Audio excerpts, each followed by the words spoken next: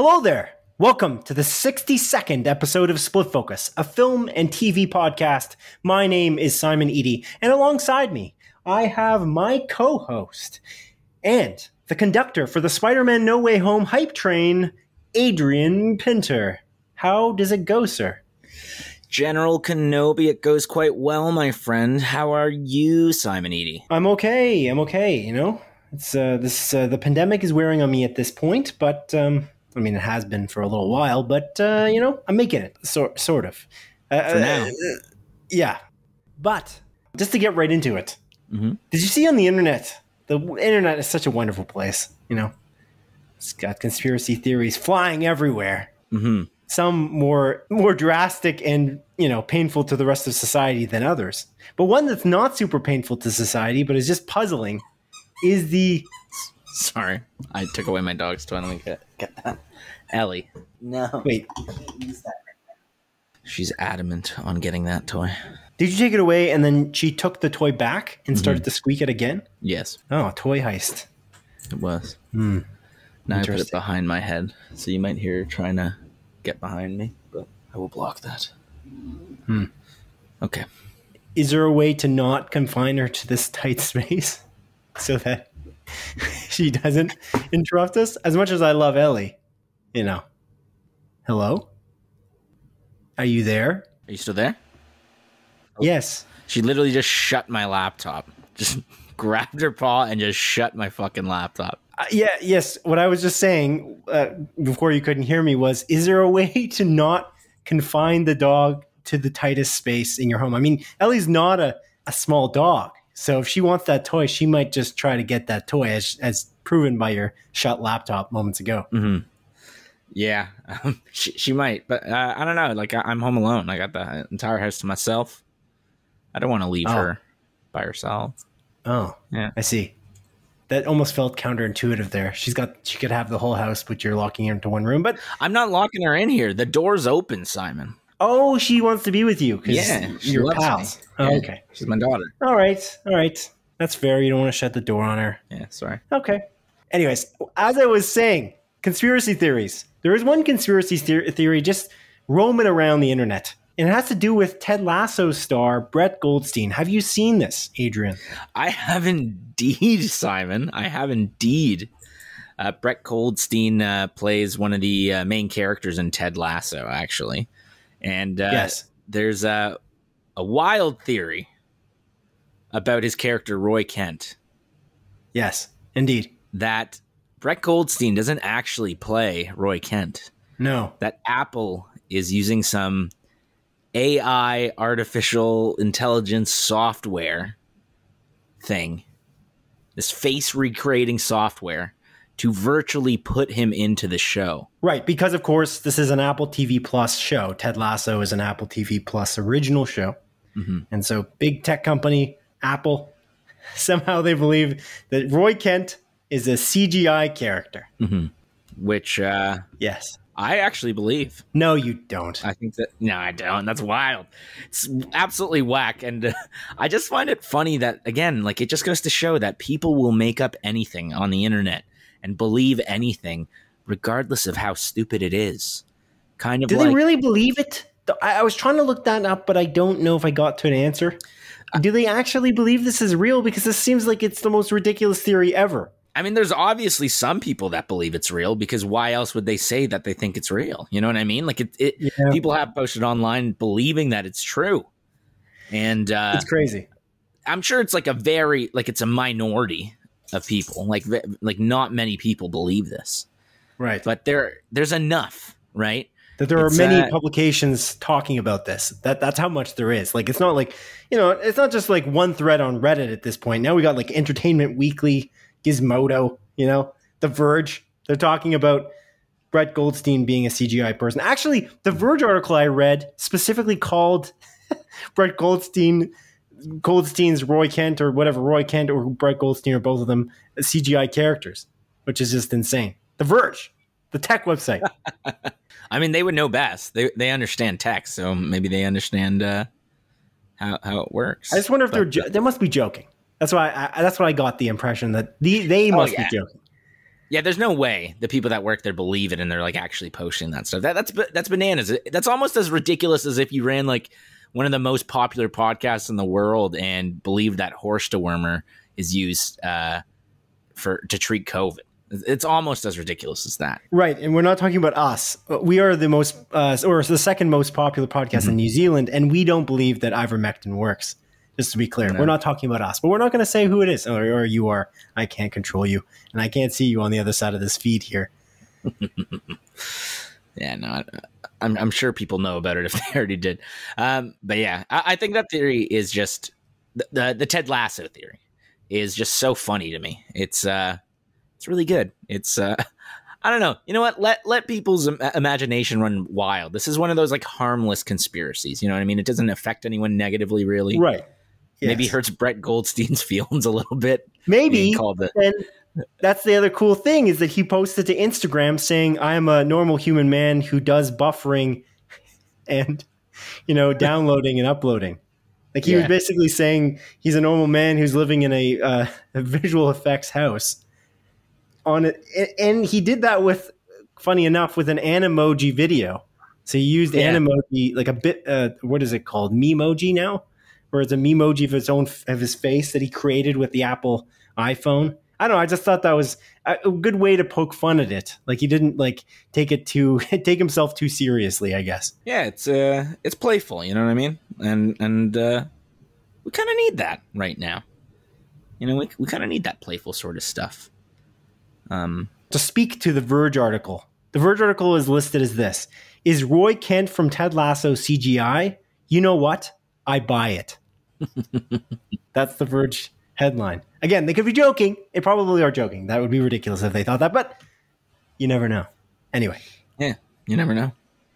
But yeah, man, uh, I guess on the topic of Ted Lasso, um, I've actually been watching season two this week. Oh, mm-hmm. oh, how many episodes have you have you watched?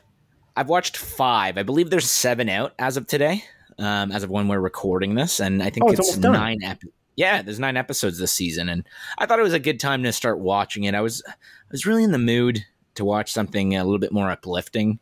Um, you know, I'm just sometimes I'm feeling a little bit down. You know what I mean? And, and I needed this show, uh, and it and uh, I'm glad I started watching it because it really does make me feel better. It makes me smile, it makes me laugh, it makes me cry. Um, it's a really phenomenal show. Uh, again, Ted Lasso being an Apple TV Plus original series, it follows. Um, a guy named Ted Lasso who moves to the UK to start coaching a UK football team. Football being soccer in the UK, and he was a former football coach, like a United States um, American football coach. And uh, him and his like co-partner, or like I guess partner, um, coach partner, whatever you would call it.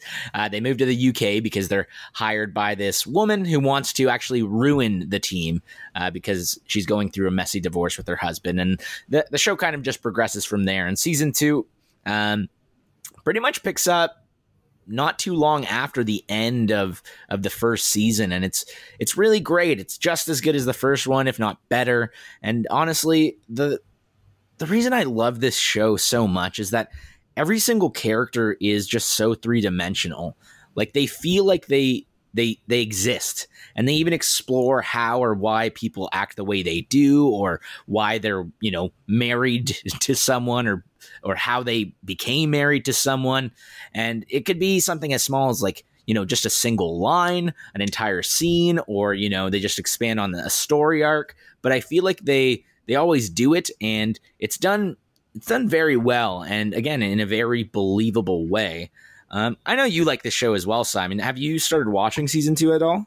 I have not. I, I really did uh, hold off because I'm I'm excited to watch it, but I know that when I watched it the last time, I just couldn't stop watching it. It was just so good that I was like, I, you know, when I started watching the first season, I watched the whole thing all the way through, and this time around, I thought, ah, it's hard to watch it all the way through when you you're stopped at 30 minute episodes you know you just kind of stop and start and i didn't want to do that although now might be a good time to start because there's only a couple episodes left i guess um, Yeah, exactly. Yeah, two more episodes uh, remaining.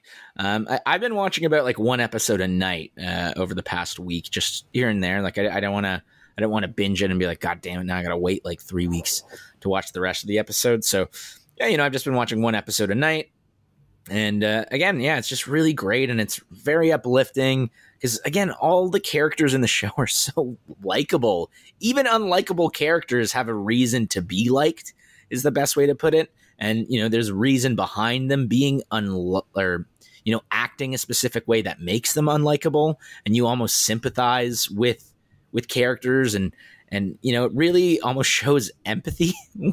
like it, it makes you feel empathetic to towards a bunch of different characters, which I really really love. to speak to that briefly, I guess in the first season, I, f- I feel as though like Jason Sudeikis as Ted Lasso, he kind of embodies that concept of empathy. Even the people Mhm. who he finds out are being assholes throughout the show, throughout that first season, he kind of he he he forgives so easily. He's just such an optimistic character in general.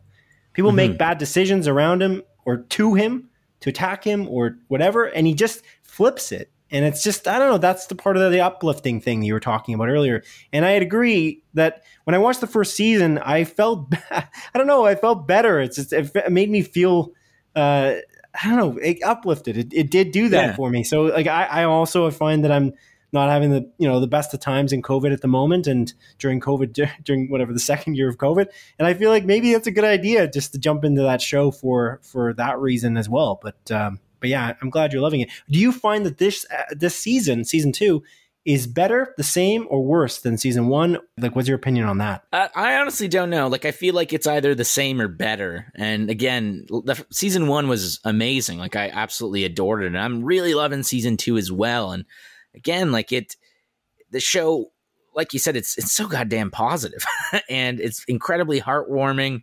But it doesn't, you know, shy away from the sad things, and yeah, it just makes me feel better as well. Like, again, I, I'm just. uh you know, like sometimes I'm just feeling a little bit down, and it, it definitely brings me back up, just like the first season did. Um, but yeah, man, like it, it, it really is just as good, if not better, than the first season. Honestly, Cool. Yeah, that's Yeah. awesome to hear. Yeah, I'm excited. I'll, I'll get into it. I think I can probably wait out maybe one more week and then start. Um, but uh, Mhm. that's great to hear they're on episode seven. So yeah, man.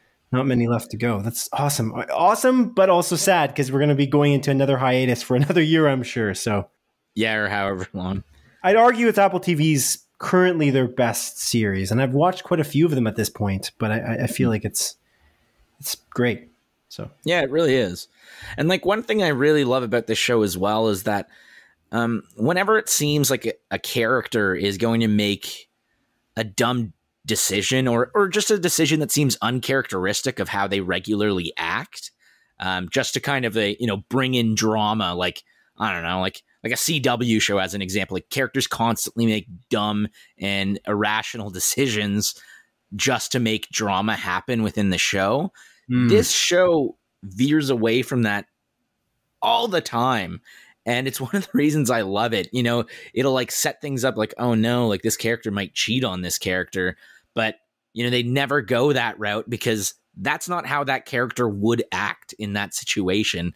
Just again it's it feels very well written and every character again like i said at the beginning of uh, talking about this every character seems so three-dimensional and lifelike and like they could exist and it never does you know make these characters do dumb decisions that make you dislike them.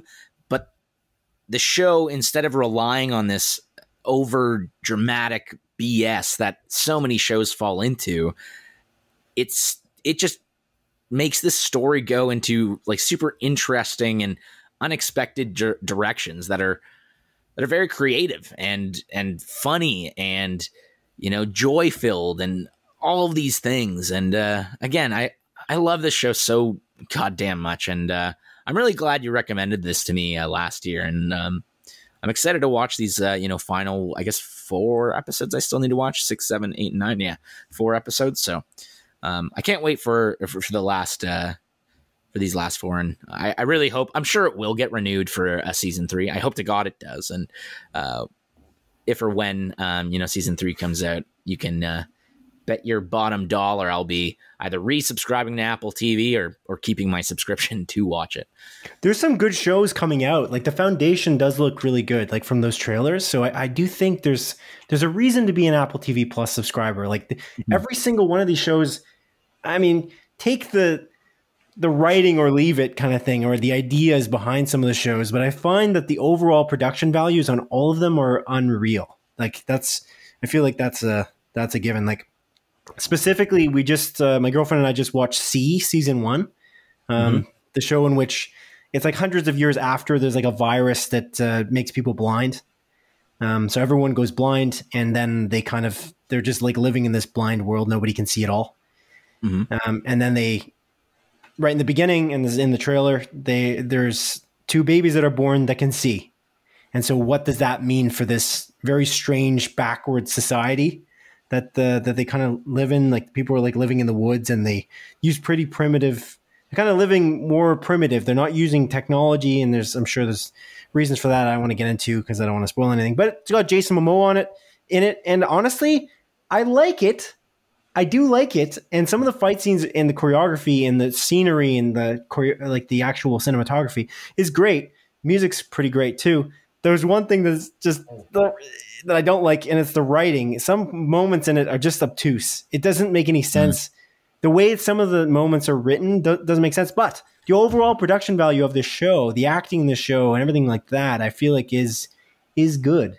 And they're like teasing Dave Bautista being in season two. Season two just started up again. So, uh, and again, yeah. wait until that uh, finishes before we jump back in. But that's uh, that's a good example of again a, a show that it's kind of like sixty percent around Tomatoes, if I recall the reviews. So it's not really well reviewed, but it's like mixed reviews, and I think it's because of the some of the writing. Again, I almost want you to watch it because if you if you watch it, I'm curious what you think of of it. But I actually got recommended it although I had kind of had it on my radar by Martin, who we referenced many episodes back, a mutual friend of ours. But anyway. Mm. Yeah, I might give it a try. Like, I'm not, again, uh, it didn't look good to me personally, like from the I, trailer and stuff, and it didn't yeah. really interest me. Um, the trailer did interest me, but I don't like bad writing, and I find there's the plot there's plot points that aren't really holes, but characters, as you just mentioned, make stupid decisions for the drama. And that's the problem with the show, ironically, because mm. it's on the same um, on the same line of what we were just talking about. But uh, but yeah, Ted Lasso doesn't do that, and See does, and it's like you. I don't know. It's almost for plot convenience. Another show that I've been watching that does something similar to this is The Walking Dead. Honestly, season 10, I love it. I love the season. I, I think it's great but there are certain characters making stupid decisions over and over and over again, and I just can't wrap my head around it. It just doesn't make sense. And it happens so often that I'm just like, I don't buy it. They're just stupid. How have they lived this long? It's season 10 of The Walking Dead. How are they making this many stupid decisions? And uh, anyway, I love it though. That this season's great and I know you uh, you might disagree with me because by proxy you told me that you kind of disagree with my assessment of this char- mm-hmm. particular character's stupid decisions. But alas, good season, weird character decisions. But honestly, I think The Walking Dead it suffers from that CW thing, doesn't it? Throughout, people make bad decisions. That's not a thing that's um, uncommon in that show yeah. as a whole. Not always, but certain points in certain seasons, characters just make dumb decisions. You're like, I don't like this character. I agree completely. Yeah, there, there's no doubt about that. Uh, it happens uh, quite a few times throughout Walking Dead's run. Yeah, uh, I've watched a lot this week. Uh, it's kind of insane. You watch all all Purge movies like I did?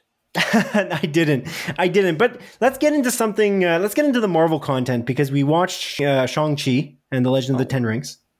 Oh, we did. And we watched What If.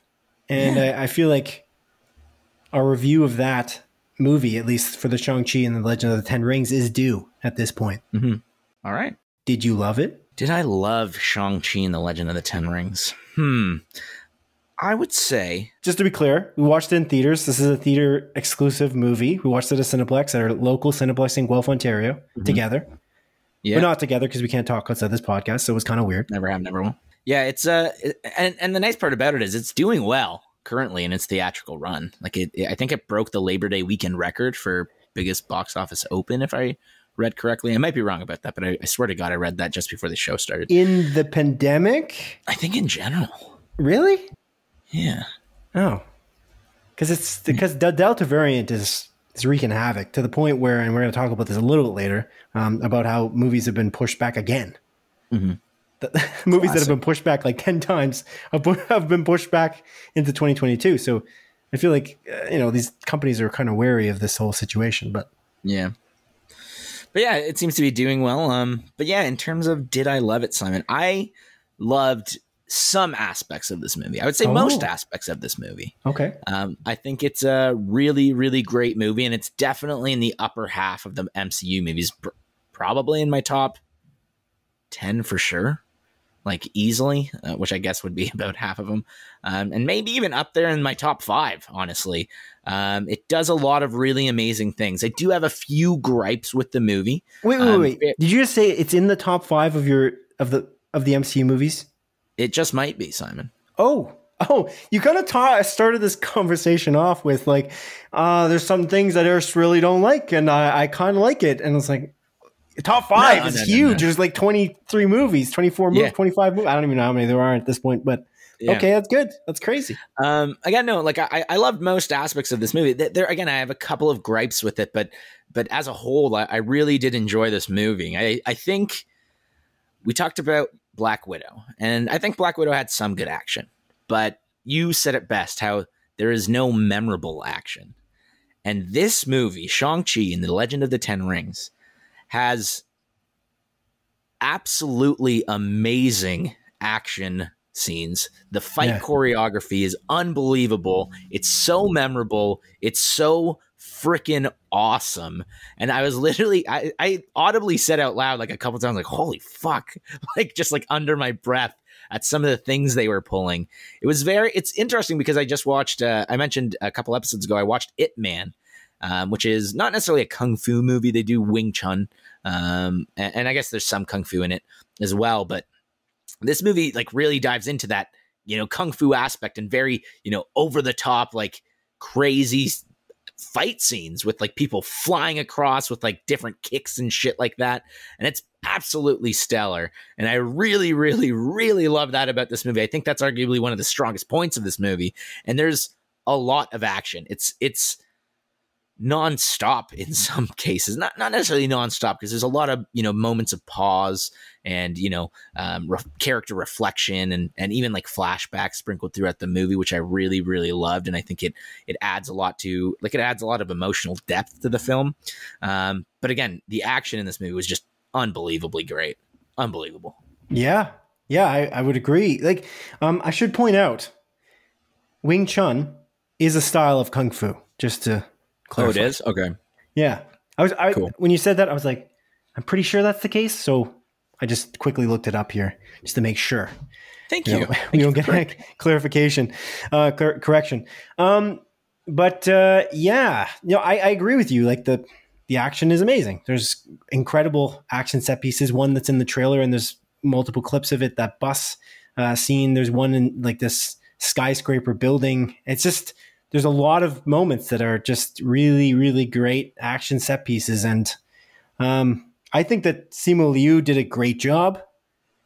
I think he was awesome. Awkwafina was amazing as well. Like the oh, cast yeah. was just incredible and really funny. It was just like the just up the alley of that, you know, the Marvel style comedy that we've come so accustomed to, uh, which is awesome as mm-hmm. well. So like I'm really yeah. happy that they they kind of nailed that that tone uh, very well as well. I, I agree completely, man. Um, the one thing I really like about it too is that I feel like um, in a lot of Marvel movies, the, the the main characters tend to be just super quippy about absolutely everything. Like like most of the characters are just quip after quip after quip um, for the comedy, and I don't think that this movie falls down that rabbit hole, which is really nice. You know, there are some like really funny lines said, but it's just I think it's just really great li- uh, writing in general. It doesn't feel like you know, uh, Joss Whedon, like Avengers or Avengers Age of Ultron movie, where it's just like constant quips back and forth uh, for the laughs. It it felt like very well earned comedy. Not that I'm saying that's bad style of comedy, but it it felt different enough. And again, I don't think I, I agree with you. The tone is definitely there, and there is some absolutely hilarious uh, like points in the movie um, that that is just like incredibly funny and you know makes you laugh, smile, all that good stuff. But um, yeah, I don't I don't think it falls down that exact same line of comedy, which I, I did appreciate. It it felt unique and different. And uh, again, the chemistry between Awkwafina and and Simu Liu is is unbelievable. The the, the way yeah, they play off each other is, sure. is fantastic, and they they have this awesome like platonic friendship that you know I just loved watching. I really love Awkwafina. I've said multiple times in um, in this podcast run that I just I just find her very charismatic. Uh, she's an awesome actor. She steals the show in a lot of things that she's in, even in like Crazy Rich Asians, which I didn't love. Like she's awesome in that movie. Um, and again, like The Farewell, which I absolutely adore, and so on and so forth. Um, but yeah, man, I uh, I do agree with you. It is funny and it it it does go in that like typical Marvel formula, but it's not the same like as a as a typical origin movie that I I was kind of expecting from the trailers. Uh yeah, well that's my gripe with it. But mm. I, I think that it, it is a very traditional Marvel formula film. And yes, it does take its liberties creatively. It does different things, which is great, but it is kind of the same formula that we've we've come to see for the most part. Like it, it I feel like it follows pretty closely with a movie like Black Panther, which is kind of based on the concept and formula from Iron Man. Uh, you know, the fight yourself type scenario, and the character who's reluctant doesn't want to do this. Mm-hmm. they don't want to be the hero everyone needs, but then they get kind of forced into it, and then there's like a training type scenario where it, it's similar is similar. I don't want to spoil anything, so I'm not going to go through the whole plot. But the, mm. the, the trailer itself, I find it kind of gives away some of those aspects. The stuff in between, that's what's more original, and that's what makes this a better, uh, uh, like almost a better version of that traditional formula, I guess. Mm-hmm. So it is great. I don't want to, I don't want to hit it too hard or, or you know disparage the film too hard for that specific thing because it's not that big of a deal at this point. The formula is used so often by Marvel in the Marvel Cinematic Universe because it's proven. It's tried and true. You know what I mean? So it's not really that big of a deal. And it's a skeleton, really. It's not, the formula isn't really the whole thing, but you can kind of predict the beats because of the fact that it does follow in that, those footsteps it's again being a predictable film is never something that's terrible, but it's nice to see when you see a movie like Spider-Man: Far From Home, Spider-Man: Homecoming, Thor: Ragnarok, uh, you know, Captain America: Winter Soldier. Uh, I'm sure um, the next Spider-Man film, uh, mm-hmm. Home Away from Home or Far From No, from Spider-Man. No. This is the multiverse one, right? Yeah, that's the worst title ever. But no, no way home. No way home is the title of it. Anyways, so that's that's kind of my two cents on that. Um, what was your wait? So you don't fault it too hard for going the Marvel formula route. What is it that you don't like about this movie? I'm kind of curious. Um, it's it, it, I, I, don't want to because it's kind of a like it's not it's kind of a spoiler. Uh, to be fair, like the thing that I I didn't totally okay. enjoy about it. It's mostly related to uh, part of the ending, um, the the the initial process, and you know Shang Chi's. Uh, Just to be clear, we're not going to spoil it here. We're we're going to yeah. do a, a, closer look episode, a brief, a closer look episode, which will launch most likely on Friday of this week. Um, we're recording this on a Saturday. This these episodes always launch. Our split focus regular episodes always launch on Mondays, and we do a closer look spoiler cast type episode built for Friday. That's the the plan anyway. But uh, mm-hmm. so we're not going to spoil it, but you you can allude to it if you'd like, and then we can talk about it in more detail on the a closer look episode. Yeah, it's uh yeah, it's kind of just like a decision that Shang Chi makes closer to the end of the movie, and how um, he almost has like a lack of um, I don't even know how to word this properly. He just it almost seems like he trusts a little bit too easily um, a certain you know group of characters, okay. and without any sort of curiosity curiosity to whether or not what he was being told prior to meeting these people was true and i felt like that was a little bit just too um, you know the puzzle just fit and they you know they kind of brushed over it. I feel like they could have added like maybe 10 or so minutes of of, of uh, you know shang-chi exploring um you know what he was told prior to the arrival of a specific place. Again i'm, right. I'm speaking in total vagaries but uh, yeah I'll, I'll definitely dive into it in the closer look episode a bit. But again um it wasn't a huge uh, gripe with that movie. Um it's actually fairly minor. Uh, and again, I I really really loved this movie, and I want to watch it again actually, just because the action scenes are just so entertaining, jaw dropping, and you know your eyes are just glued to this goddamn screen, and it's fucking badass, dude. Is the best way to put it. And I really really love this movie, and uh, yeah, I'll probably watch it again in theaters this week. I'm not even joking. I, I know um, I wanted to go watch it with uh, Ken. Um, when we went, uh, but unfortunately he wasn't able to make it, so I might go with him uh, later on this week. Ken being one of uh, our friends uh, that also writes into the show almost on a weekly basis. Yeah, yeah. indeed, indeed, indeed. Um, okay, yeah, that's uh, interesting. Okay, so we'll get more detail. I'll get more detail out of you in the uh, closer look episode. The reason why, why we're going to do in a closer look episode for this particular movie um, is because honestly, there's there are a bunch of things that I do want to talk about, so details about the MCU that were revealed in this movie that I think mm-hmm. are a little bit shocking and they're really cool. And I don't want to spoil them here because we just don't spoil anything on our podcast unless it's like six plus years old or something like that. We're really yeah. kind of careful about that because that's kind of the idea. We want you to enjoy the movie. You know, we don't we don't want to tell you the story of what happened in it. That would be kind of pointless, yeah. especially because this movie just came out. People are a little bit hesitant to maybe go to the movie theaters. Um, so there's that. There was one other thing. Oh, yes. I actually really enjoyed and I'm I'm curious what you think about it too. In the way that the pacing was done in this movie too, I found it was very nicely done. I just mm-hmm. feel like overall, like the way they did the legends storytelling, where they kind of told these like legends of uh, thousands of years ago and uh, upwards to present day, and the way that they told them in very specific spots in the movie, they don't hit you hard with it all at once. They kind of just mm-hmm. drop it in, and in between the action sequences, almost like they had a really neat map that kind of mapped it out, and it, it just felt like it just you got humor, action sequence, a legend kind of history story where you got they're maybe telling it with I don't know. They, they tell they, they kind of told these stories for the past with flashbacks. They told it with uh, statues. They at one point they they did some really neat things with that too. And I, I just I find that this movie is very well directed. I think that Destin Daniel Cretton did a great job. And I just I don't know. I, I just think that it's competently done almost all the way through.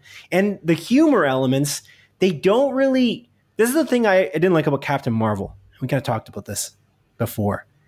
Captain Marvel put humor in that made fun of the MCU as a concept. Mm-hmm. Plot points in the MCU were made fun of. They kind of did that at one point, and I didn't really love it at that at, in this movie. But I find that for the most part, they were just not doing that, and they respected what came before it. And I, that is something I really, really am worried about because of the Captain Marvel movie. I just, mm-hmm. I, every time I go into one of these movies, I'm like, oh no, how are they going to think that they're pushing the envelope by making fun of a previous MCU movie's plot point and kind of retconning it? So that, that's something that I'm always kind of worried about, which I'd never been worried about before Captain yeah. Marvel. If you know what I'm saying. Yeah. I, I, I, know exactly uh, what you're talking about in particular. Yeah, we don't want like a Rise of Skywalker situation, especially because that right. bad. yeah, that was a whole other level of retconning and various mistakes. But, but yeah, I um, I love this movie. I, I really do. And again, the action sequences, as you said, all the points you said, basically, I, I agree with you. And like Awkwafina is just so good. And Simu Liu, who I've never watched before, I've never watched Kim's Convenience. I had the thought to watch it, but then they end. It's going to end abruptly, and I was like, "Oh, I guess not. Then I won't watch it because it's ending abruptly." so that's the only reason I guess I didn't go into that. Um, mm-hmm but that's a Canadian TV series that Simu Liu uh, came from.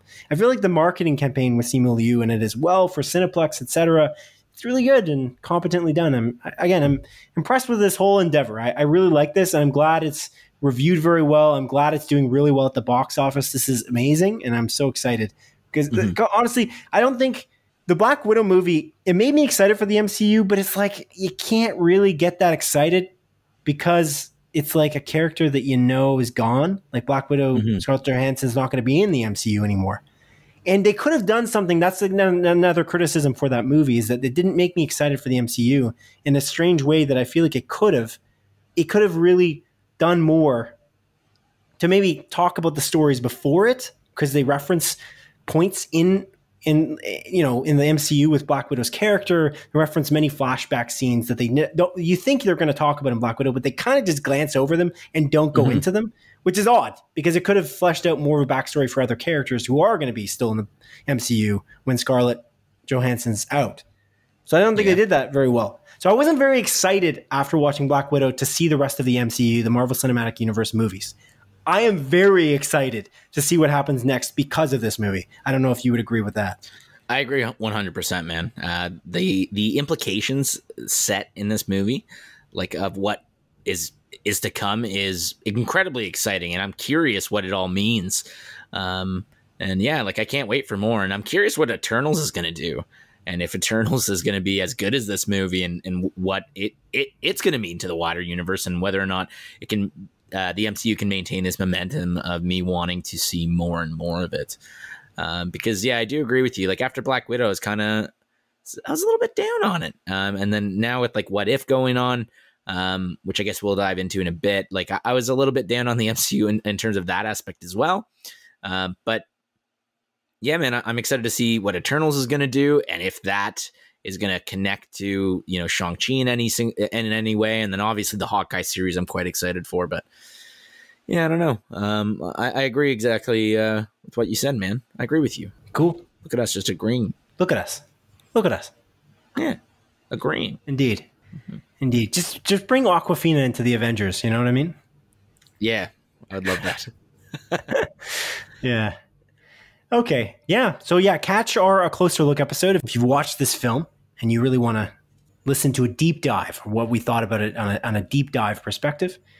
But um, but yeah, let's move on to what if, shall we? The what if episode, episode three, no four. Four.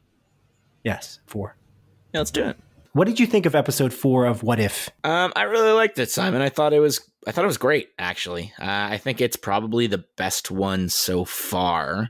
This one being uh, called, I think, "What if Doctor Strange lost his heart instead of his hands?" If I recall correctly, I think that's the name of the episode, and you know, it explores the um, idea of you know what would happen if Doctor Strange, instead of losing, you know, his his his hands in in that initial car accident that he ha- that he had in the uh, Doctor Strange movie, but he lost the love of his life.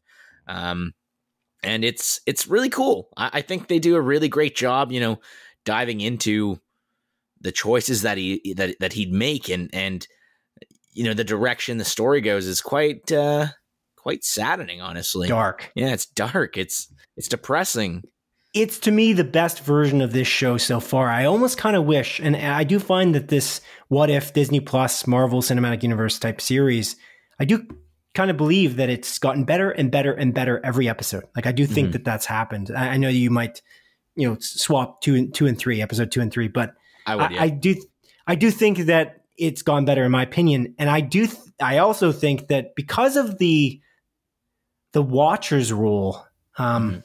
in this episode, it should have been episode one. I, I really, I feel like it's the most uh, multiversal focused episode of all four, and I think that they kind of missed an opportunity to really introduce this with a bang. This series because I really didn't like episode one. Like I, I genuinely did disliked it. So Yeah. I, I think that if they threw that somewhere else in the series, actually it probably would have fallen off. No, I don't know actually because that, that that that episode disappointed me so much. Um, but you know you got to start strong. I think that the the or at least at least release two episodes at once you know release that first episode and maybe release the second episode together something like that do like a double feature um to be Right. a little bit more like uh, okay so it's not all bad um but yeah I, I agree with you on that front for sure man um oh one highlight about this episode is that literally all of the voice cast or all of the actors return to play their respective characters even rachel Exactly. mcadams wild. yeah It's a, wild, was like a wild situation. I, I found even honestly Benedict Cumberbatch or, or or he's still in the MCU, but or Tilda Swinton. Like, come on, like Yeah. you have like all star people. Like Tilda Swinton's an incredible actor.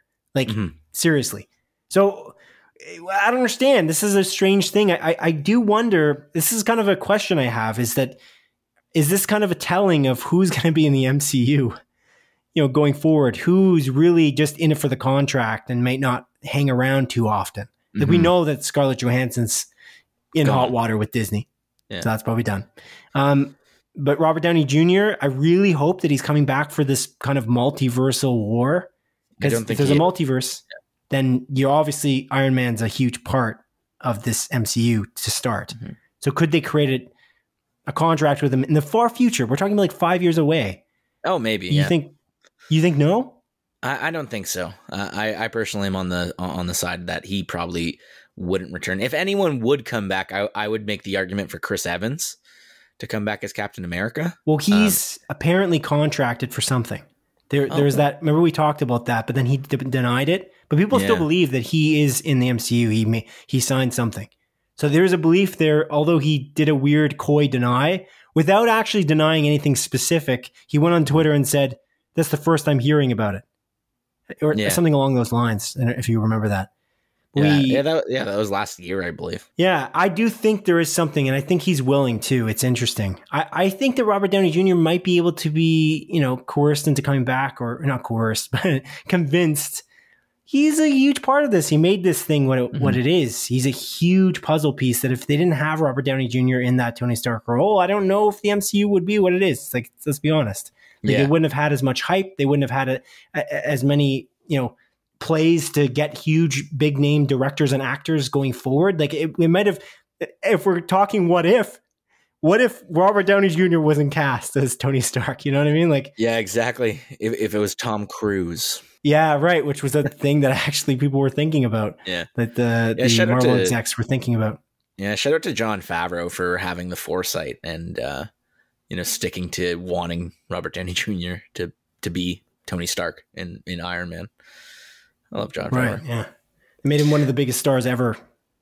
Like he Exactly. was amazing before that, but he was kind of there's a bit of a rocky history with Robert Downey Jr. Yeah, exactly. and like that's it's, again it's, that's an incredible redemption story that's just i don't know it's, it's amazing but yeah, I'm, I'm happy to I'm happy to like see it. Um, in t- in terms of you know people, I guess returning. I just mentioned you know Rachel McAdams being in in the show. I was like, Right. this, this this is super cool. But the weird part is the character of Christine in the What If show looks absolutely nothing like Rachel McAdams, whereas everyone else looks very similar to the original character. I thought that was a weird No. choice. i Um, i saw it i could see rachel mcadams but i i can see what you're talking about yeah yeah it's weird Yeah, I, I honestly could not see Rachel McAdams. I was like, this looks like any person, like literally any person. Yeah. yeah Like it was just very generic looking character, like not modeled by like after anyone. Whereas again, like Doctor Strange was obviously modeled after Benedict Cumberbatch. You, you look at that and it's like, oh yeah, that's Benedict Cumberbatch. Um, so yeah, he was it- amazing in this and he's in it so much like i, Yes, I really yeah. I don't know. There's a certain appreciation I have for Benedict Cumberbatch. It- when you see him in an interview, he's got like pretty dry humor, but I fe- I feel like he's in it. The guy's like a no half measures kind of guy, and Mhm. it's awesome because I I almost I want to see. This is the thing, like it's like a pipe dream maybe, but I'm curious if they could model the, the rest of the MCU around Strange because Strange and Stark are actually in some ways similar in their the way that their ego ego operates. So, Mhm. I, and because Strange is such a, I don't want it to be necessarily as like, you know, re- world revolving around like or the, the MCU revolving around as it was with Tony Stark. But I, I l- really like the idea of Strange being the guy who knows that, and other other people don't know. So Yeah. like they did with Endgame as an example. It's just Yeah. such an interesting dynamic that I just love. And I'm hoping that they, they're going to do that for years. And I'm hoping Strange is like a, a centerpiece of what the MCU becomes. Is And that's what's so great about him being in Spider Man um, No Way Home, to be Mhm. honest. Yeah, I, I- yeah, I agree with you completely there. But yeah, I, I like this episode of What If. I thought it was really good. I'm curious what next week is. I'm, I'm waiting for that zombies episode because I'm a sucker for zombies. Oh, yeah, there was a trailer for that. Yeah. Or that was in the trailer. It's a little snippet with zombies. Mhm. Yeah. Indeed. Yeah. I I watched, as I mentioned earlier, like a lot of things this week, and I watched. Uh, I'll just list them off, and I'll I'll go into each one very very briefly. I mentioned I watched See, which I Mhm. enjoyed, but again, the writing could have been better. I watched uh, The Final Girls, which is a Netflix, uh, t- uh, sorry, a Netflix movie, um, with some pretty good actors in it. Like it was, it was an enjoyable, it was an enjoyable movie to watch. I would say it's potentially worth the watch. It's a horror movie. Did you see that movie on Netflix? Did you see Girls? it on? Did you see it on Netflix at all? It's a horror No. movie. It's like a slasher film at a summer camp. F- oh damn, I'm into that.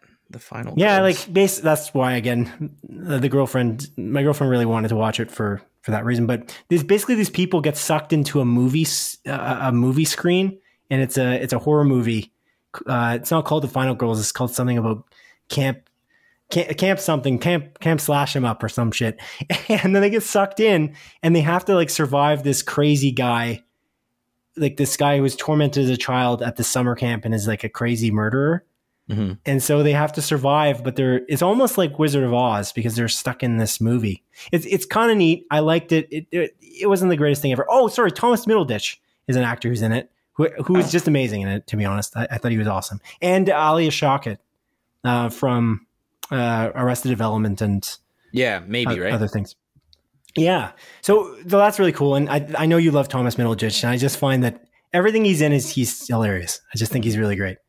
But uh, so that might be something you might want to might want to watch in the future. But I also watched Only Murders in the Building. I watched Nine Perfect Strangers, and I only watched a few episodes of these two shows because there's not that many episodes released. Isn't only murders in the building like that? There's only one episode of that. I know it's like I think it's like hundred percent on Rotten Tomatoes. Oh, there's three. Yeah, I really I heard a lot of good things about this show. Like I really want to watch it.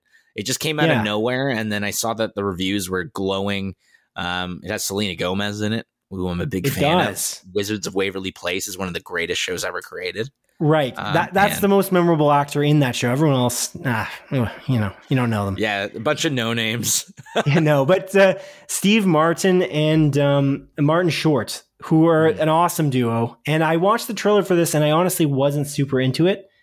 And then my girlfriend and I watched this show. We watched the first two episodes and we're into it. We, we do like it. This is really cool. I'm really, again, I I think it's really neat. There, there's two guys. There's uh, Martin Short's character and uh, Steve Martin. They're trying to start a podcast, a true crime podcast based on a murder that happens in their building.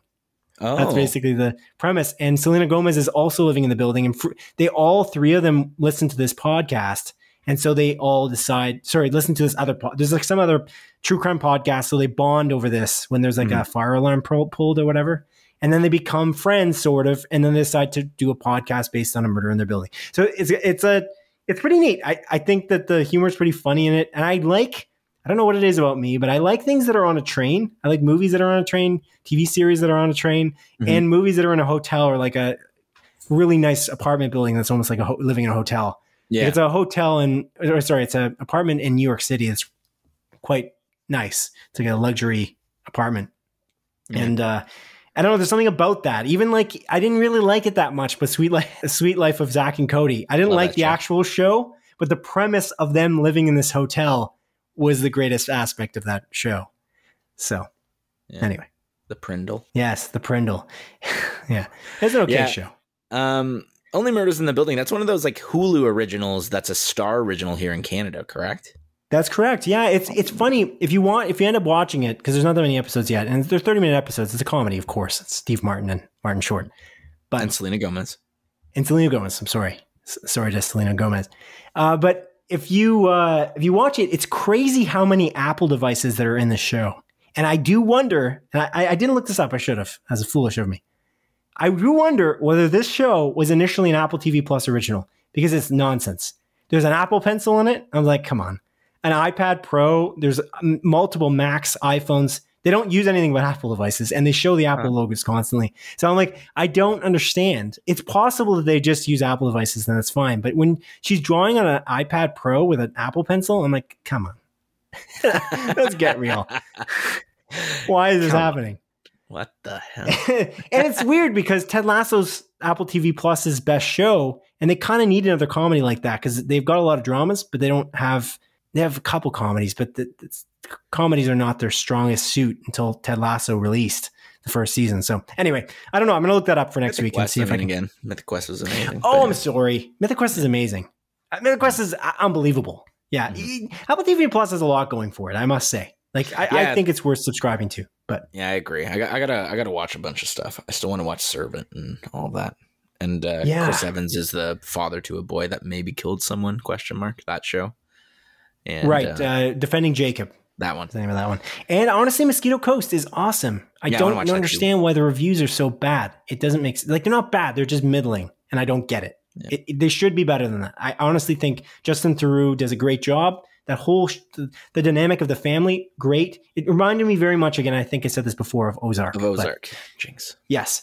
And I also watched Nine Perfect Strangers, which is an Amazon TV series with an incredible cast. Did you see anything about Nine Perfect Strangers, Adrian? Uh, I think so. I feel like I've seen like like snippets and ads for it. Um, this is like an, an anthology series, right? That like follows different characters.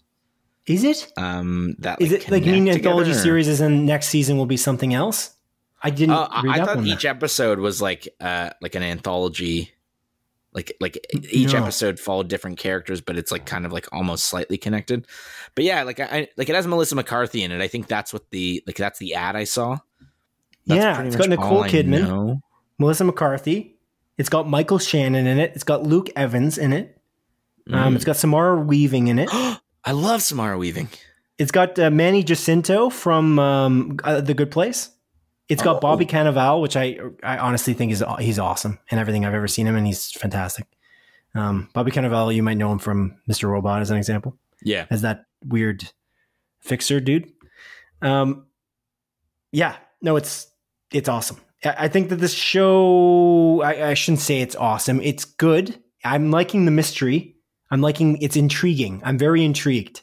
Uh, we've watched now three episodes, and it's basically about Nicole Kidman runs this kind of a spa or like a I don't know what, what the better word for this would be, but she's running this like getaway, this retreat, uh, like a, a resort that she chooses the guests. And in this case, she chooses nine perfect, strangers. Oh my gosh.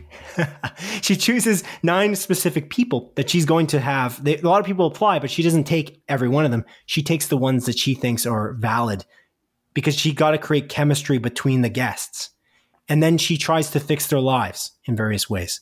So if somebody has Huh. like a drug addiction, she's going to fix that. If somebody's, you know, feeling down in their life, they're depressed, whatever, what have you, that's what she's trying to fix. But there's this underlying mystery underneath the show and it's good. I wonder if the mystery is just going to be, you know, it's going to deflate badly like a bad balloon deflating. Yeah, I, just I like feel fall like it might flat. Yeah, it's just going to be like a, as you described for one division, I think it was a wet fart, or, or Mhm. you know, it's not going to be the greatest reveal. But so far, I am intrigued, and there's a, I don't know, it's it's very interesting to watch these people because they're so different, and the actors are so good that because they're playing off of each other and potentially monologues, etc. Um, it's just. It's very fun to watch. I just, Yeah. I'm very intrigued by it, and I, I'm curious to see where it goes from here. I am definitely going to be watching the rest of it. Also, the intro, also very amazing. I think that the intro music used is great. I think the the choreo- I keep saying choreography, cinematography is amazing as well. I think mm-hmm. it's it's well done. It's it's overall well done. I just I don't want it to fall flat, and I don't know what to expect in that regard. But Fair I enough. recommend it to you so far after three Okay. episodes. This Nine Perfect Strangers, I just I just uh, googled it real quick. This is an interesting one because it's a Hulu original series, but it's on Amazon Oh. Prime here in Canada. Oh, just is Hulu. Good call. So that's a good call out for anyone who's in the United States. This is not on Amazon Prime there. Yeah. I'm assuming. But again, this is one of those weird situations where it's like, why, Why isn't it on Disney Plus? Star, yeah. You're right. Confused. That is strange. Why isn't it on Disney Plus in Canada? That's how they handle Hulu content in Canada. Mhm. Is on the Star sub channel of Disney Plus. Hmm, that is that is strange. I never thought of that when I was when I started watching that. But yeah. Anyway, sorry to What interrupt. do for you? what the On it. I thought so. what the hell? It's over, Adrian. The AI is taking over. That was Siri. I I apologize for her very poor timing and her interruption, audience. Um, sorry. One last thing that I watched this week. I don't want to go too long. I've I've talked very much about the things I've watched, although there's a lot of neat shows and movies coming out lately, so it's it's kind of an exciting time To be for alive. us, I think. Yeah, and to be alive. This thing did not come out recently. The last thing I watched this week was Willy's Wonderland, the Nicolas Cage movie that I have a feeling because it's written right here that you watched as well. Yeah, I watched this. Uh, I watched this last week, not this past week, um, and I just decided not to like talk about it because we we had a, a lot to do um, the week prior. And yeah, I, I did watch this movie. What did you think, Simon? Um, I, it's just absolutely nuts, and I just love. Yep.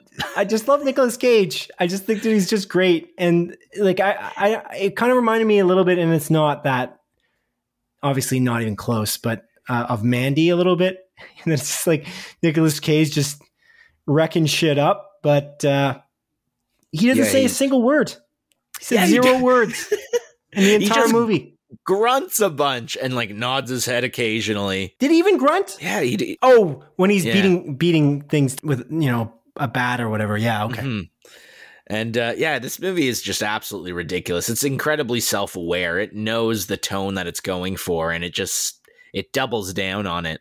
Um, it's incredibly campy, like incredibly campy, and uh, it's really fun. It's uh, it's the premise is essentially Nicolas Cage. He you know drives over some you know spikes on the road in this small town and you know has to get his car repaired but the mechanic says like oh we don't take debit or credit we only take cash the way that you can get your money back is by working in uh, as a janitor in this uh, factory called sorry this this old children's play place uh, called Willy's Wonderland. Think like kind of Chuck E. Cheese. And uh, when he's in there, the animatronics in the uh, building uh, try to kill him. And Indeed, uh, indeed, they do. kind of where it goes. It's very obviously inspired by like Five Nights at Freddy's and things like that. It is, but I feel like the best line that encompasses this movie, and it, it, it's I don't know if it's necessarily recited very well, but uh, at one point, one of the characters is like, "There, he's not, he's not stuck in here with them. They're stuck in here with him." That's in the trailer. it's literally but- that. That's a line from Watchmen that Rorschach says.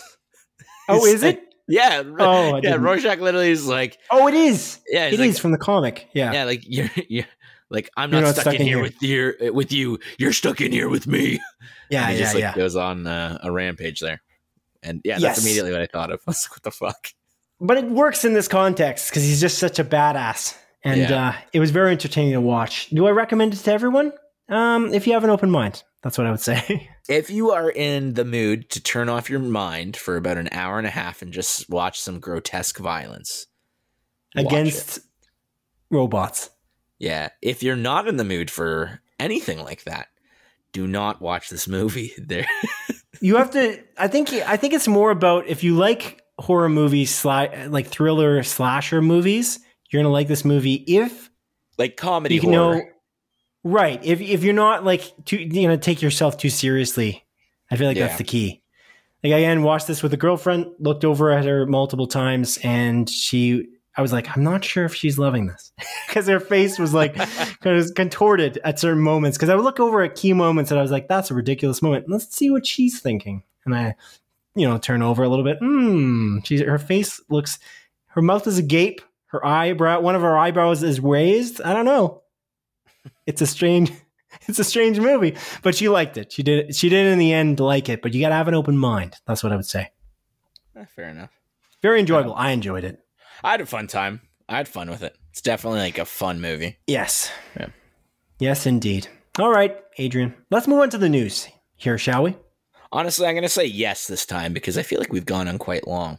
Yeah, we got to get this show on the road here. Mhm. Let's begin with a small collection of more focused stories that have been particularly pertinent this week. Number one, as reported by entertainment website IGN, the TV series adaptation of video game series Life is Strange is very much still in the works, with musician Shawn Mendes now set to produce the series and look after the show's music.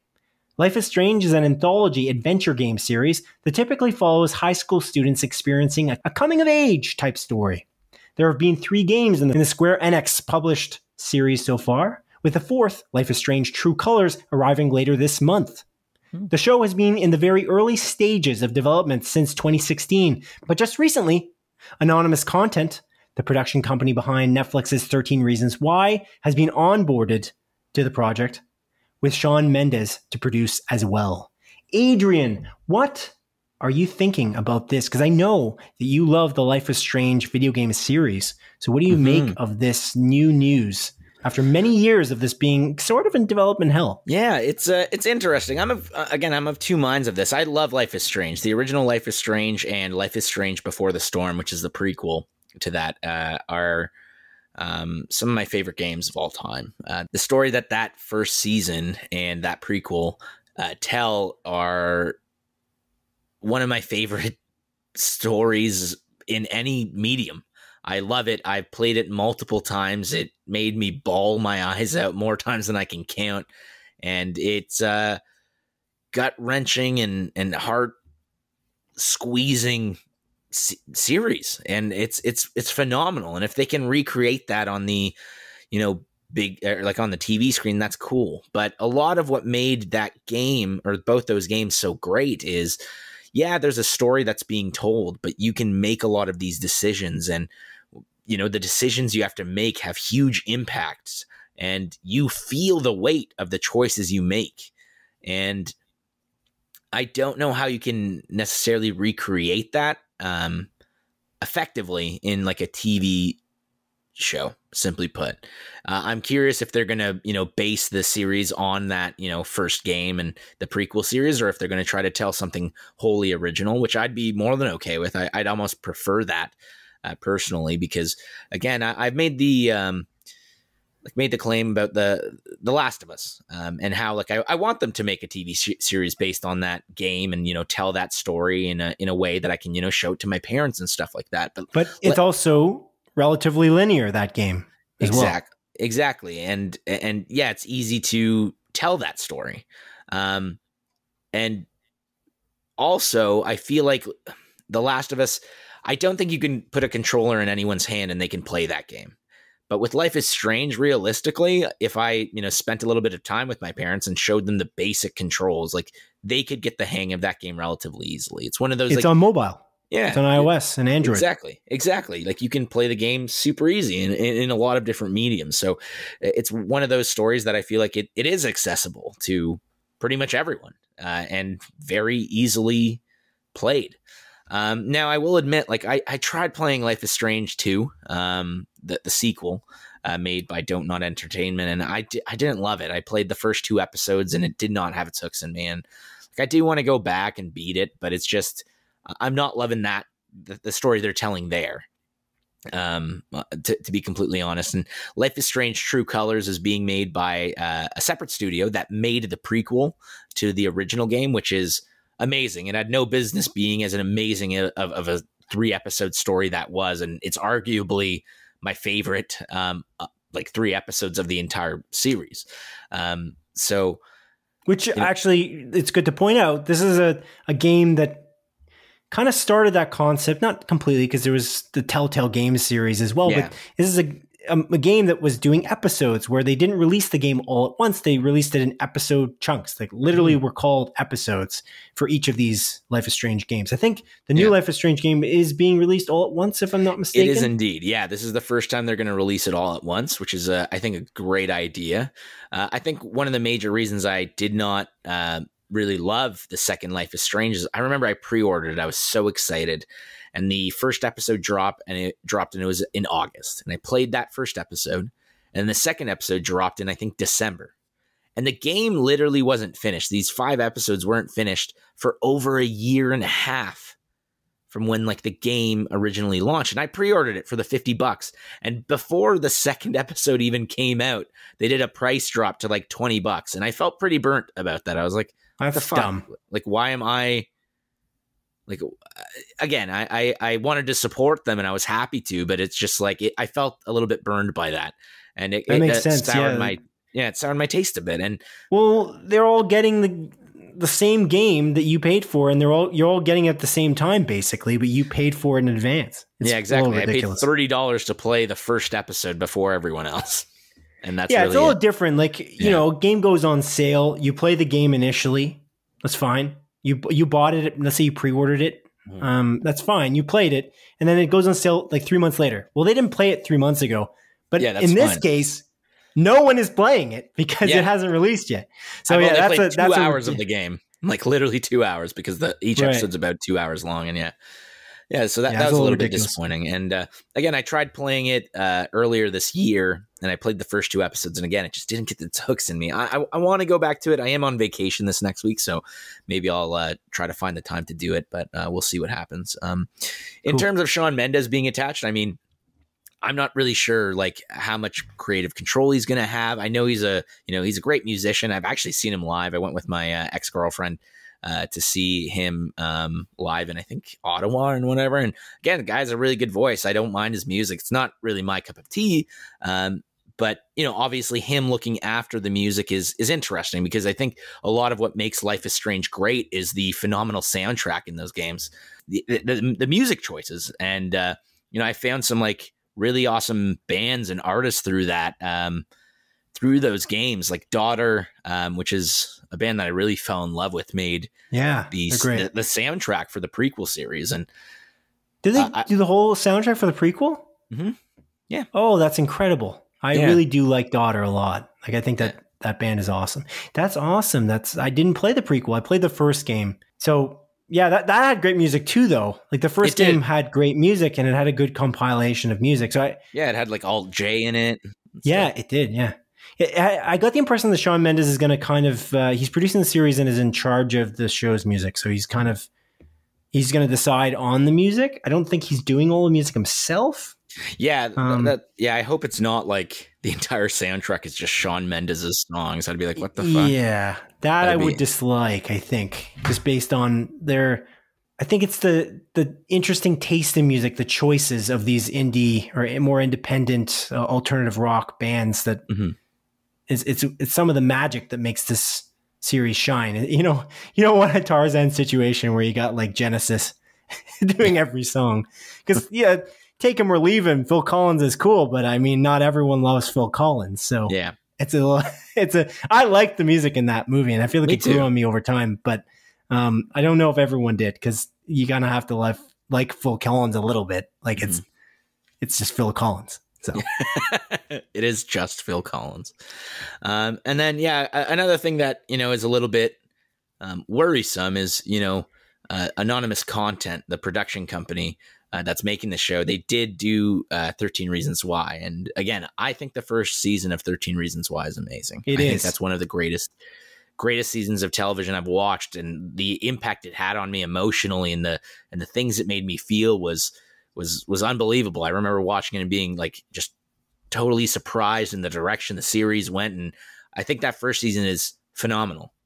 Season 2, however, is a drop off a cliff in terms of its quality and I still made it through season 2 but they retcon a bunch of choices in season 1 and I I freaking hated it. it. It really frustrated me and I watched the first episode of season 3 and they literally try to make you sympathize with a rapist and like literally i was just like what are you guys doing? What the fuck is this? And i stopped watching the show um, at that point. And i know they had like a season four but like and those, those weren't well regarded whatsoever. So to me 13 reasons why is a one season tv series which is amazing.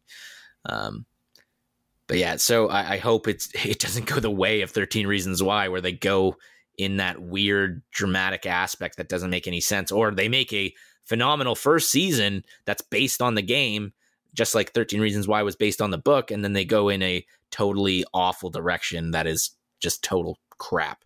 Um, so yeah. Yeah. It's an interesting situation. You mentioned the choices, and the choices are such a huge part of the game. I, I do wonder. I you do make me think about this. I do. I'm questioning. It, it's a great narrative, but it's a great narrative that follows path, paths that aren't always the same. Although honestly, it is kind of faux a faux. mhm. it's not really real. Like you're making choices, but that you kind of end up in the same place at the end anyway. yeah, Sort of. There is some pretty big differences, but they're they're not so large that it's necessarily a drastic change.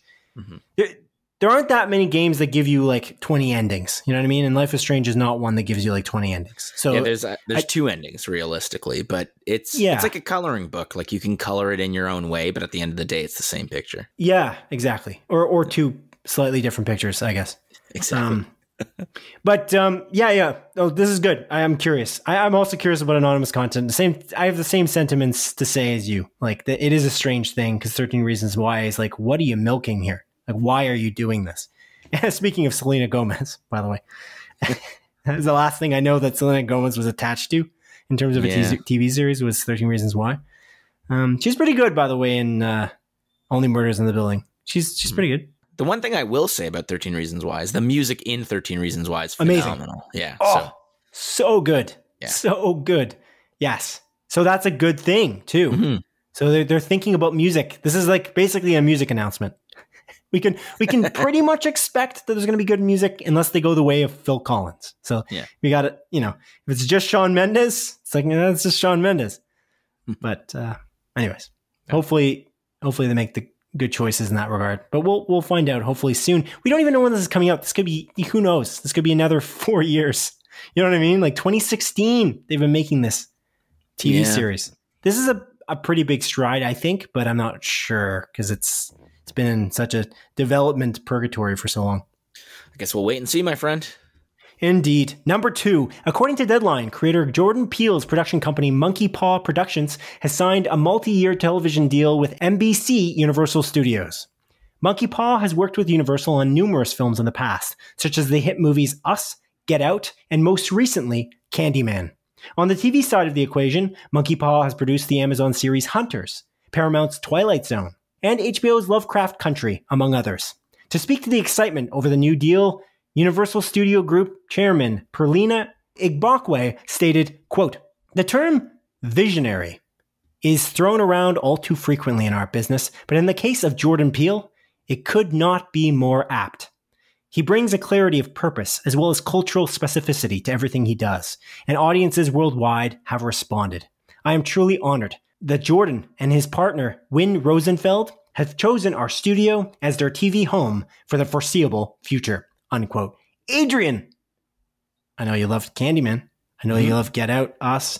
What do you make of this TV deal? I don't know if you've watched many of these TV series specifically, but uh, what are you making of this news? I think this is a really good get for NBC Universal Studios, and I think what Pearlena. Here's the Uh, latest news from CBC. what the fuck? I can't explain it. I can't explain it. There's just no. I okay. So what happened is this happened last week too. That she just chimes in. Siri chimes in for no damn reason. But I just put the speaker in last week, so that the, it's a home pod just sitting next to where I record, and it, it never had a problem.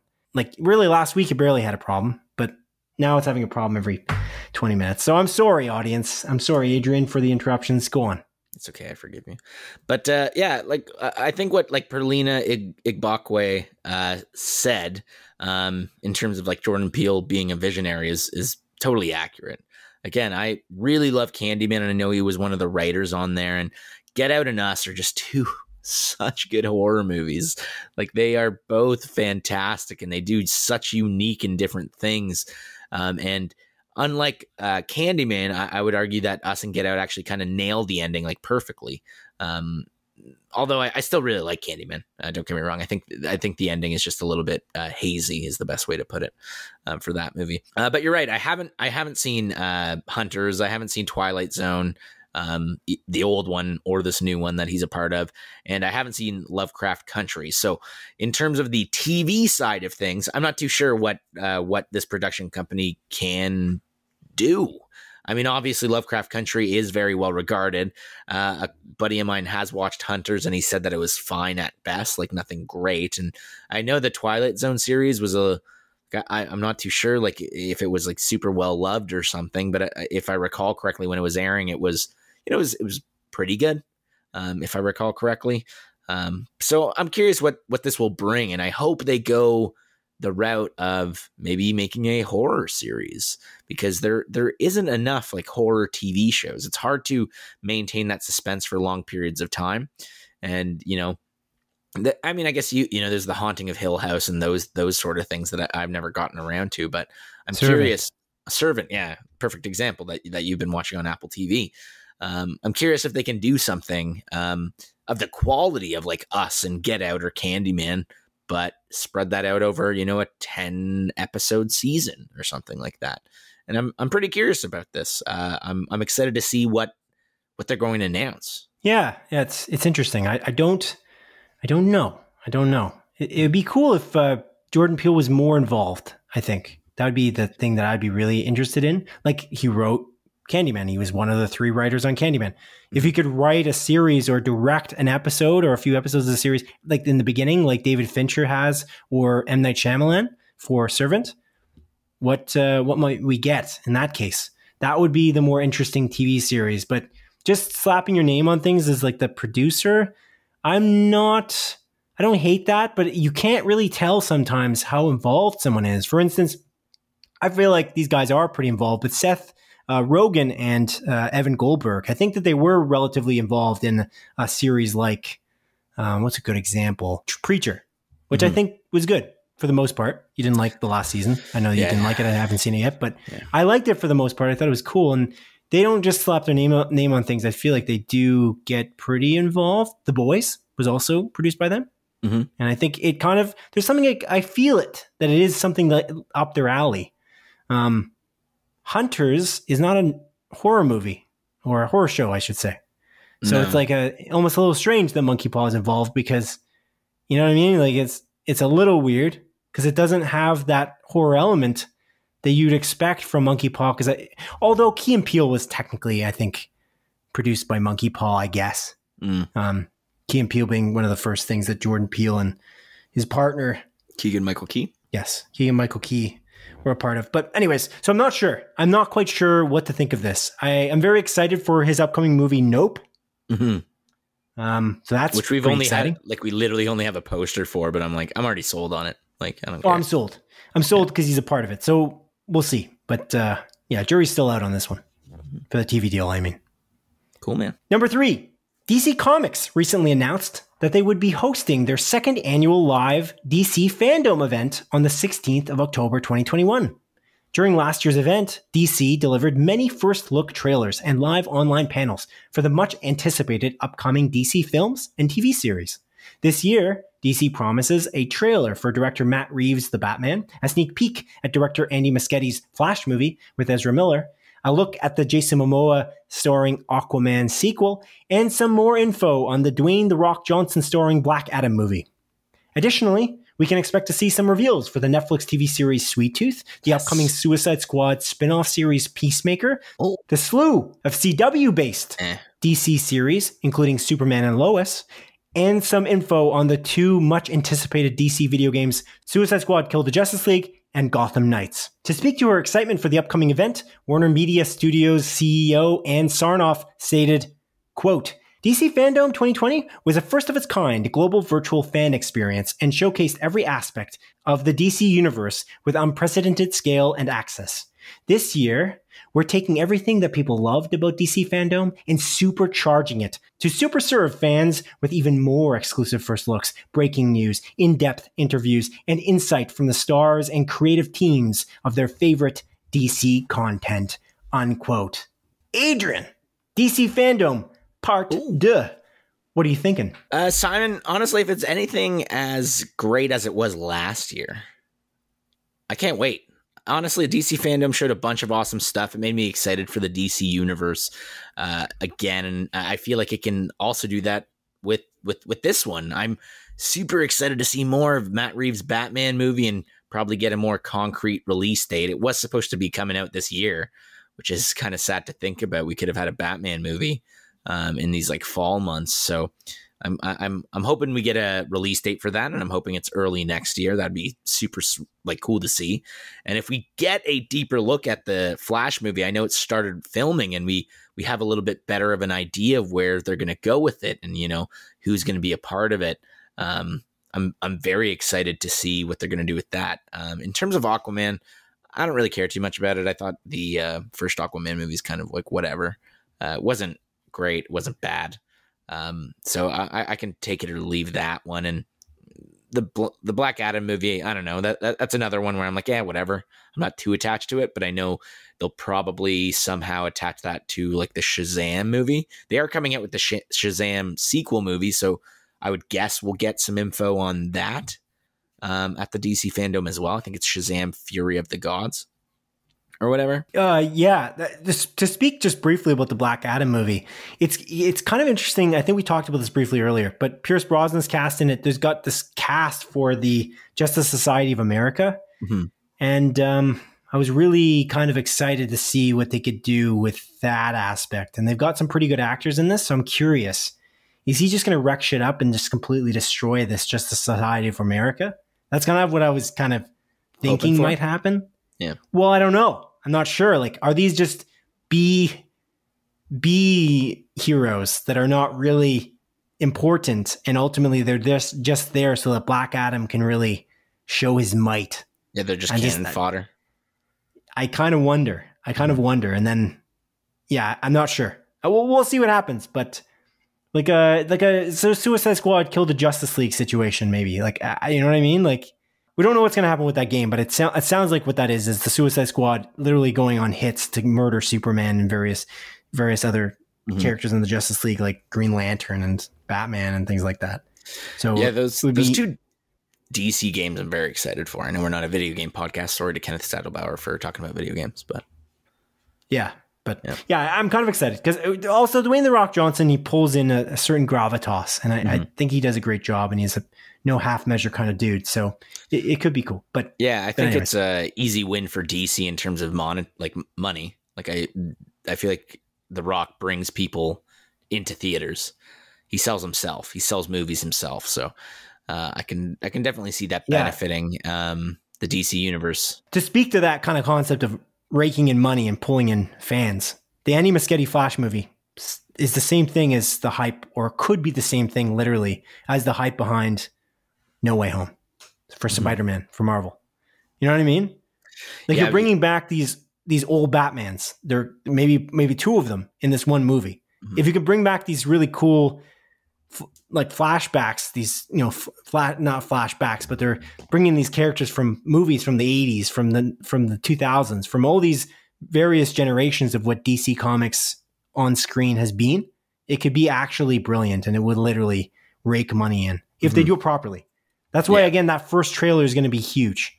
If they have Michael Keaton as like a reveal, like they did with Alfred Molina in the Spider-Man trailer just recently, Mhm. it could be pretty crazy. I, I think it would be be nuts. Yeah, I agree with you.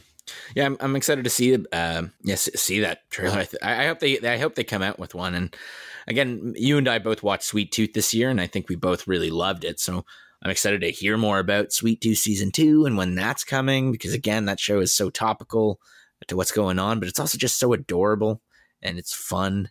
It's cute. It's it's it's just a really high quality TV series, and it's a good get for Netflix. And I I want to see more of that uh, series. And of course, I want to see uh, Peacemaker. That's coming out early next year, so that might be the first thing we get in terms of like this this DC content that they're going to be revealing for us. So I'm excited Yeah. to talk about this in more detail when it uh, all happens on the 16th of October. Me too. Super exciting. Hmm. Alrighty, now on to the montage, a sequence of our show in which I briefly present the week's smaller news stories as Adrian delivers a brisk verdict.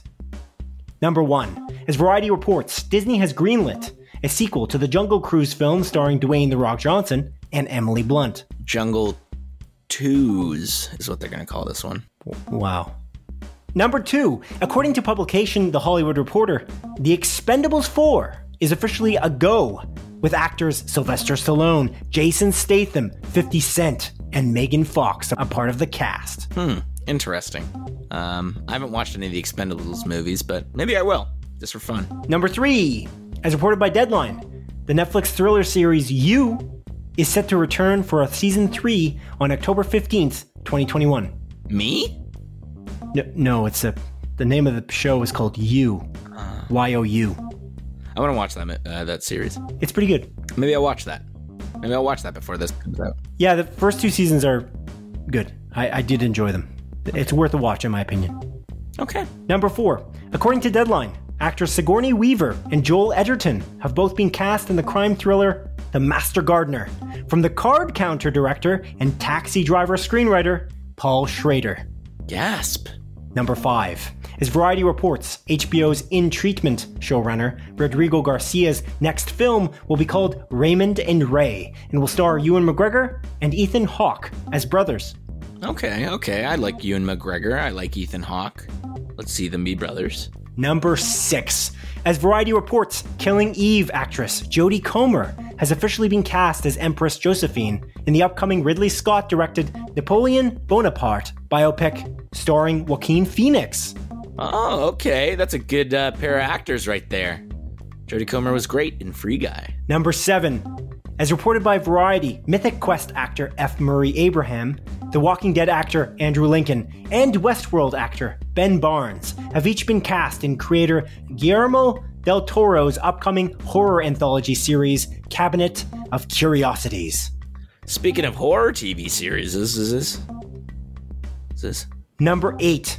As tech website The Verge reports, due to the recent devastating COVID 19 wave, Paramount Pictures has delayed the Tom Cruise Top Gun Maverick film from its 2021 launch date to a new May 27th, 2022 release date instead.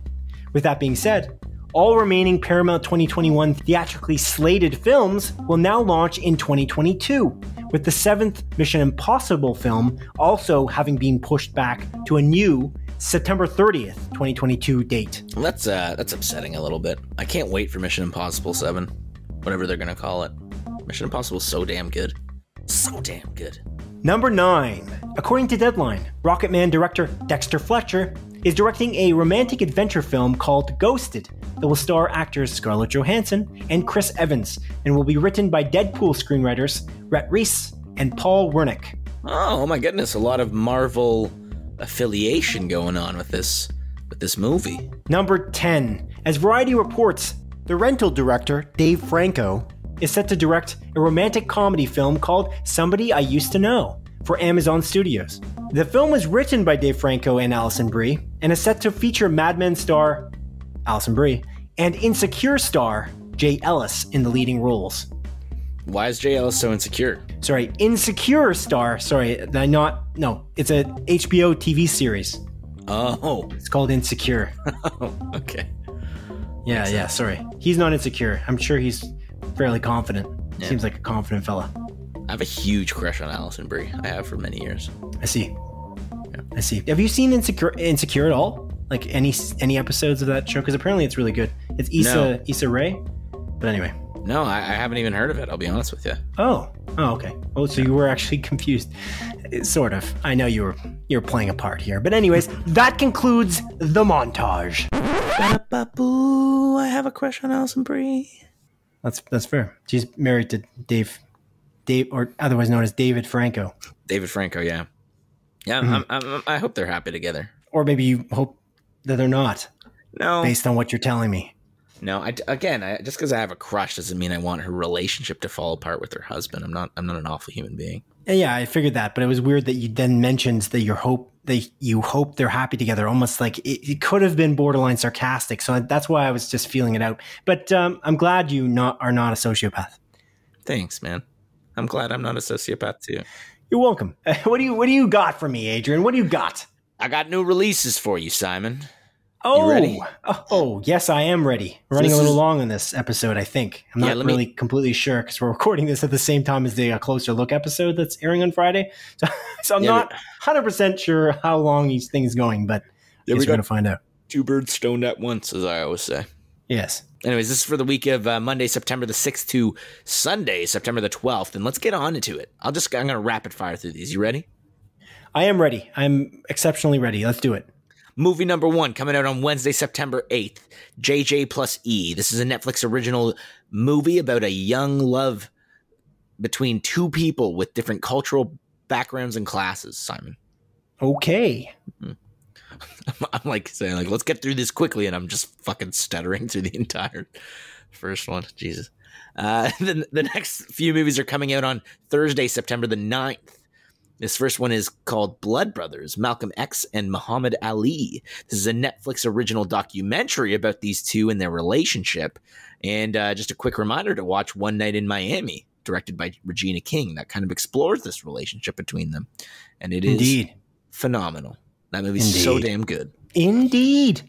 Indeed. Next next up is The Woman and the Murderer. This is a Netflix original true crime documentary about Oh, yes. serial killer Guy Georges. Oh? I hope it's Yeah. reviewed well. Yeah, I've never even heard of this Guy Georges. No, no neither have I. Another one of these serial killers that just didn't do a good enough job. Oh God, don't say that. We don't want serial killers to do a good job. That's I'm just I mean, hot take. Serial killers out there don't do a good job. Sounds Don't good. do it at all. Actually, don't do that job. Switch jobs. If Switch you're gonna jobs. if you're gonna kill a bunch of people, do a bad job so that you can get caught. Is what Simon wants Switch. you to say. Switch career paths. Mhm. There are other places you can work. Go to go to like a like a like a like an animal factory where you just kill animals instead. Hmm.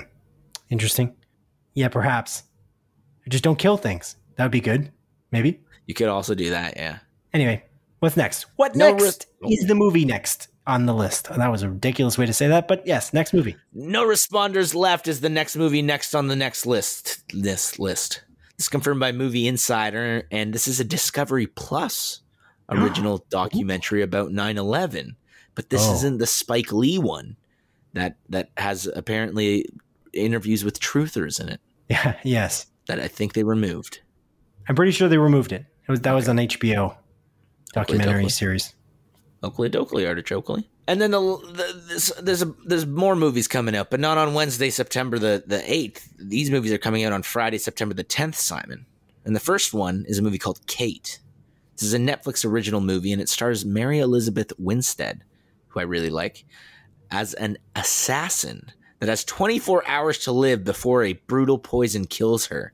And she's using that final day to exact revenge on the person who put the hit out on her. Oh no. Mm-hmm. Hmm. Yeah, interesting enough. I like Mary uh, Mary Elizabeth Winstead quite a bit. I think she's awesome. Yeah, she's cool. And she's great She's cool. in Fargo. She's, really good in. Fargo. Yeah. Yeah. Yeah, she's also good in um, Scott Pilgrim versus the World hmm Yeah. as well. But anyway, a great movie. let's move on to the next movie coming out. Adrian. Prey. That's the next movie, Simon. This is a Netflix original movie. Five Friends on the Run? It's about uh, five friends who are very religious. no. Very religious. They're No. they're Catholic. No, they aren't, dude. They're Jewish. No, they're they're uh I don't know what religion they are. It's Muslim. not specified. They could be. Well, it's called Prey. But Prey EY Simon, you silly goose, you Oh, oh, sorry, my mistake. classic joke changing the meaning of a word that sounds the same but is spelled different Yeah, incredible. Mhm. We're just uh, full of humor on this podcast. comedy duo here That's right. comedy duo of the year Oh, yeah. but speaking of prey this isn't a com- co- co- comedy that's what i was going to say comedy it's five friends on the run one mysterious shooter on the prowl Oh no. yeah that's all i wrote for that one Oh, had you have read that last line, we would have understood Mhm. that it wasn't pray, like Yeah. putting your hands together and speaking to God. Ah, I understand now. Pray, like the uh, most recently Arkane developed video game that was came out on the playstation and uh, xbox Apologies to Kenneth Stadabauer for talking about video games. Next movie coming out, Adrian, is Firedrake, the Silver Dragon. This is a Netflix original movie, and um, drakes are usually just weaker dragons. Like they're usually like less evolved or younger. yes, that's true. And Mhm. this is a animated movie or Oh yeah, it is. live action. Oh, Yeah, okay, it's li- that's it. That's an important one. Yeah. talking about dragons here. It's my dragon noise. Sound like a cat. Yep. Anyway, continue. Come From Away is an Apple TV Plus original movie that is a uh, a musical that was filmed live on Broadway. Think Hamilton, but less popular. Oh, seriously? Yeah. I've seen Come From Away Have you? in uh, in London. Yeah, England? yeah. Come From Away is um. Funny enough, Come From Away is based on. It's a Canadian story. Did you know that? No, I did not know that. Yeah, it's a Canadian musical that that like has kind of been shopped around the world, which is pretty cool. It's about uh, it's actually about 9/11. They there's a plane Oh. that has to touch down in I think it's Prince Edward Island, Mhm. um, because they have nowhere to go because they can't go back to the United States because they ground all these planes. It's kind of about that story, and it's a musical, and uh, it's really good. I really enjoyed it when I watched it in London. So Maybe I'll watch it this Friday on the Apple TV application on my yeah, TV. Maybe. maybe you will. Maybe I will. Maybe I will. You can tell me about it when you uh, when you hit the podcast next week. Wacha. Good River is up next, and this is confirmed by Movie Insider and the Apple TV app. This is a video on demand. Another documentary on this list. A lot of documentaries this week. And it's about a high school soccer team struggling to racially coexist after they after they're trying to go for the some a championship. Oh, Yeah. okay, okay. Oh, sorry. Come from away. The the plane touches down in Newfoundland. I don't know why I said PEI. Newfoundland, Canada. Anyway, continue. Pretty much the same. Continue. What's the next movie? Uh, language lessons is up next. This is uh, confirmed by the most reliable source on the internet, m.thehyphennumbers.com, the Apple TV application. Now, on m.thehyphennumbers.com, it says specifically that it's coming out on the 10th of September, which is a Friday. However, on the Apple TV app, it's available for pre order, but no specified date. So this might not be fully accurate. I wanted to put that in here just to let you know. Um, Alrighty. And this uh, this is a this is a, an exploration of platonic love between a gay man and a straight woman. Uh, the gay man being played by uh, Mark Duplass, who is probably best known for I, I know him best from uh, The League personally, um, which is a hilarious show. And uh, you know his his husband buys him Spanish lessons, and uh, the the straight woman that he that he meets is, is the Spanish teacher, and apparently they go through like tragedy together. And again, it just explores this relationship between uh, these two that that have a love for each other, but it's it, but it's fully platonic. And uh, I don't know, it's very well reviewed. I'm curious about this one. Cool. Yeah. That's great. Yeah, I I also like Mark Duplass. He's great. Uh, Malignant is up next on this list, and this one I'm actually really excited for. I kind of want to watch it again. I've been in that horror mood. This is coming to HBO Max as well as theaters, and this is from director James Wan, who is like the creator of the Conjuring series. He also directed Aquaman, which I didn't love, but again, he's a he's a big name in the in, in the horror industry, and this is like a neat looking horror movie about a woman who dreams of these brutal murders that are happening in real life at the same time and uh, kind of explores that. And I don't know, it looks it looks it looks cool. I kind of want to watch this. Neato. Neato. Next up is The Card Counter. This is coming out to theaters. This is this has Oscar Isaac in it, Willem Dafoe in it, Tiffany Haddish in it, and Tye Sheridan. Um, I honestly, I feel like I've never heard of this movie. Maybe we've talked about it, but it it. Well, I, talked don't- about it in the montage just moments ago. that that's exactly what I was going to say. Like I I don't think I heard about it until you brought it up in the montage, and it's quite uh, quite a coincidence. But uh, it, it's simply about like Oscar Isaac. He plays a man with a dark past, and he starts taking care of a young man, that being Tye Sheridan, to like go through a redemption arc. But taking care of this young man actually drags him back into that dark past that he so desperately is trying to escape. Let's watch it if it's in theaters near us. It is. It's uh, playing at It- the I think Guelph Woodlawn on Thursday. Oh, that's great. We should do it. Okay.